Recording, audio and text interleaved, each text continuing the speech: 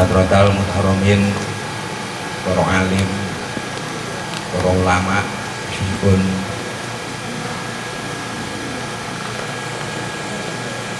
Gus saking Ploso kalihipun lan sedaya para kiai kang hadir wonten menika majelis ingkang kawula mulyakaken.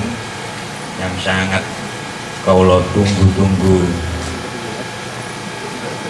Petuah-petuahipun nasihat nasihatipun Salawat lan salam mugi tetap katur dumateng junjungan kita.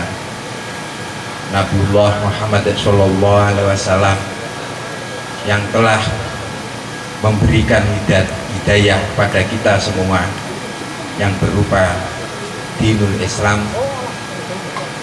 Semoga pada malam hari ini kita mendapatkan keberkahan dari beliau dan besok yaumil kiamah kita mendapatkan syafaat saking Gusti Rasulullah Shallallahu Alaihi Wasallam. Semua hadirin yang saya hormati mohon maaf sekali karena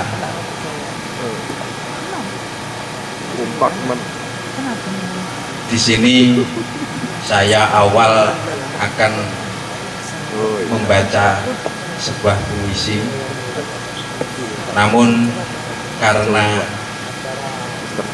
banyaknya berbenturan dengan kegiatan-kegiatan sehingga memang pada saat ini kemudian coretan-coretan yang dilakukan oleh Gusnya eh, eh, kemudian untuk saya baca.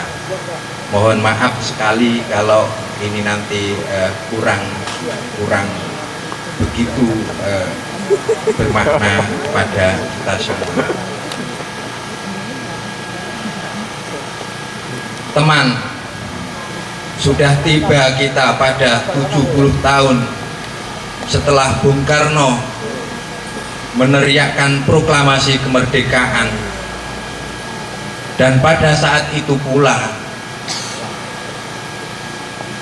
Hadrul Syekh Hashim Ash'ari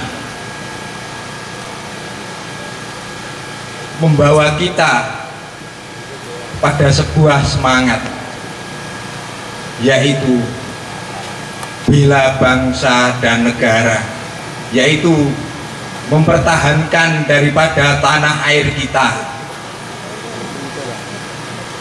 Lahirnya resolusi jihad kepada seluruh rakyat Indonesia dan seluruh santri yang ada di Nusantara ini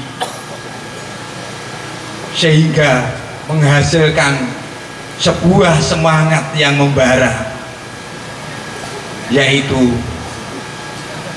merdeka atau mati.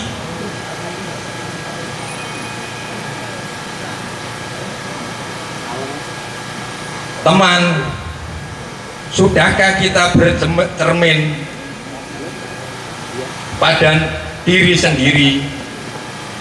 Sudahkah kita muhasabah pada tubuh kita? Darah yang mengalir deras menyusuri setiap celah-celah kecil dari tubuh kita. Semua tak lepas dari energi yang kita serap dari surga dunia, duniawi yaitu Nusantara. Teman tak sia-siakah energi kita ini habis? Kita munas kita musnahkan hanya untuk meneriakkan. Allahu Akbar Allahu Akbar Allahu Akbar. Yang artinya bukan lain adalah serbu darah atau kematian.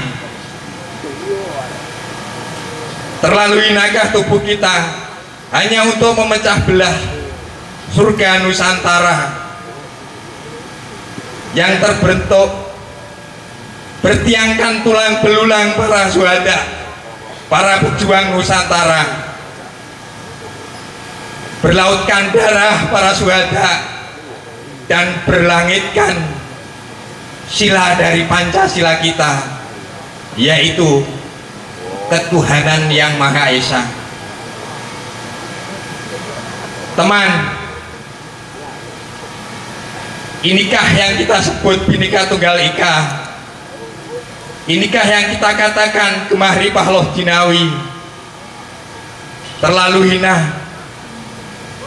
Kesatuan surga ini kita pisahkan dengan sekat-sekat perbedaan yang berbalut dengan hawa nafsu kita sendiri.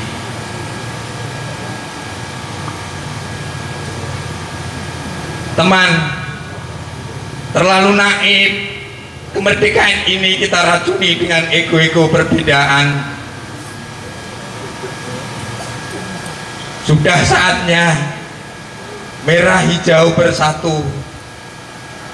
Sudah waktunya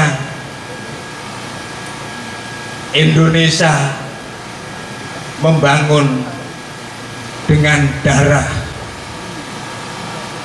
dan suhadanya para pejuang-pejuang Nusantara tercinta kita.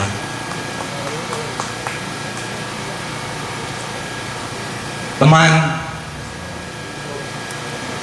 pada saat ini kita hadir di sini tidak lain hanya semangat untuk mengabdi kepada bangsa kita mengabdi pada negeri tercinta. Merah hijau adalah lahir dari bumi pertiwi tercinta.